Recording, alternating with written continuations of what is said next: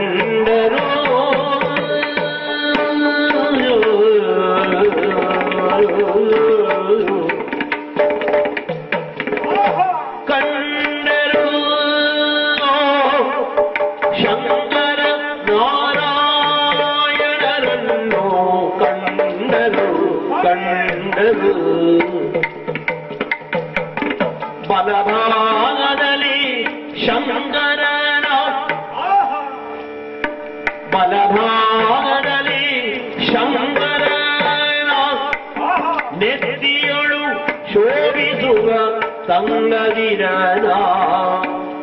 ನೆತ್ತಿಯೊಳು ಶೋಭಿಸುದಿಯ ತಂಗದಿರನ ಕಂಡರು ವಾಮಭಾಗದಿ ನಾರಾಯಣನ. ಕಂಡರು ವಾಮಭಾಗದಿ ಕನಕದಾಮ ನವಿಲುಗರಿ ಇಹನ ಕನಕದಾಮ ನವಿಲು ಗರಿಯನ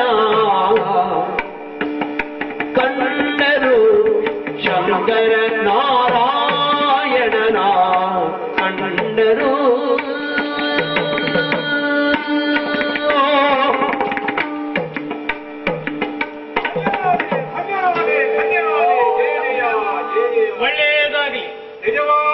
ಕಣ್ಣುಗಳು ಇವತ್ತು ಪಾವನವಾಯಿತು ಎನ್ನುವುದರಲ್ಲಿ ಅನುಮಾನವಿಲ್ಲ ಅನುಮಾನವಿಲ್ಲ. ಸರಿ. ಈವರೆಗೆ ನಮ್ಮ ದೀರ್ಘವಾದಂತಹ ತಪಸ್ಸಿಗೆ ಫಲವನ್ನ ಈ ರೂಪದಲ್ಲಿಯೇ ನಾವು ಕಾಣ್ತಾ ಇದ್ದೇವೆ ಕಾಣ್ತಾ ಇದ್ದೇವೆ. ಈ ಎಂಬಲ್ಲಿಗೆ ನಮ್ಮ ಸಾಧನೆ ಎನ್ನುವುದು ವ್ಯರ್ಥವಾಗಲಿಲ್ಲ.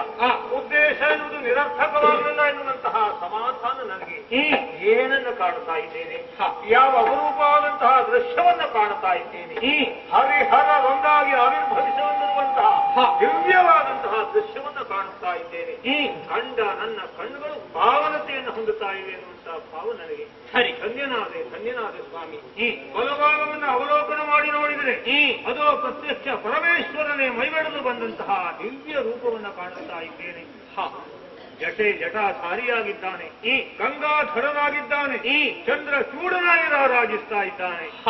ವಾಮ ಭಾವದ ಭಾಗವನ್ನು ಅವಲೋಕನ ಮಾಡಿದ್ರೆ ಅದು ನೆತ್ತಿಯಲ್ಲಿ ಮುತ್ತಿನ ಕಿರೀಟ ತುದಿಯಲ್ಲಿ ನವಿಲು ಗರಿ ಮತ್ತೆ ಹೃದಯದಲ್ಲಿ ಕೌಸ್ತುಭ ಹಾರವನ್ನು ಧರಿಸಿದ್ವಿ ಧರಿಸಿರುವಿ. ಪಿತಾಂಬರ ಧಾರಿಯಾಗಿ ಕಂಗಡಿಸ್ತಾ ಇದ್ದೀಯ? ಈ ಸ್ವಾಮಿ ಈ ಶಂಖ ಚಕ್ರ ಗದಾಧಾರಿ ನೀನು. ಒಂದು ಕೈಯಲ್ಲಿ ಶೂಲ ಈ. ಮತ್ತೊಂದು ಕೈಯಲ್ಲಿ ಚಕ್ರ. ಇಂತಹ ದಿವ್ಯವಾದಂತಹ ಆಕಾರವನ್ನು ಕಂಡು ಧನ್ಯರಾಗಿದ್ದೇವೆ ಧನ್ಯರಾಗಿದ್ದೇವೆ ದೇಜಯ